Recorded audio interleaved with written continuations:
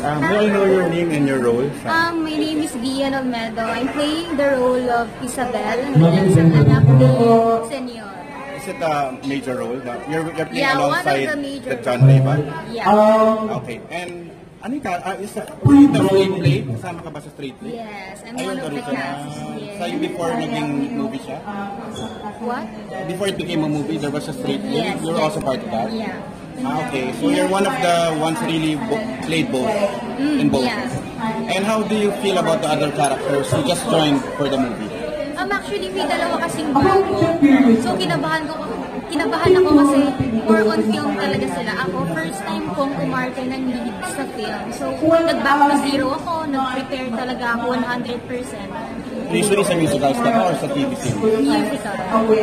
Pero dito walang music. Wala, wala. More on straight. More on So, are, are, anong, anong excitement mo for people to watch this? What, are, what do you want, what do you expect people to to feel after they watch the movie?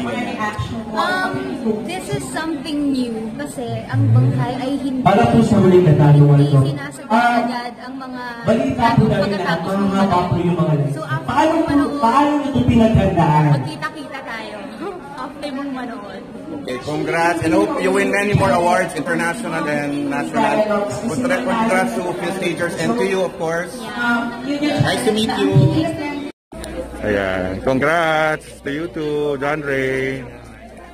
Congrats, you did really so well sa movie. First time mo, ano, mapanood yung, yung final. Yes, this is the first time. The first, ano, kita namin as in. And you, I heard the, when you introduced you, ang dami mo na palang awards or, or mga recognition before. Yeah, meron So na matagal ka din. na sa industry. Ano, sa theater Sa plays. But sa movie, this is my first time na magkaroon ng role. Ay, sobrang ganda. Akala ko nga, ah, pati sarili mo, goodbye na rin. Pe. Nako. Spoiler.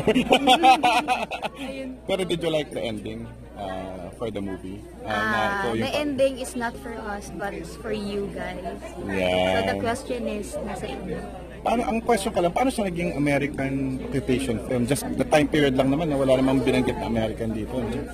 Um, ako sa pagkakabit ko siguro sa script namin, it's not clarified right now, but I know it's, ano, period time yeah, yun. yun yung parang theme namin or else.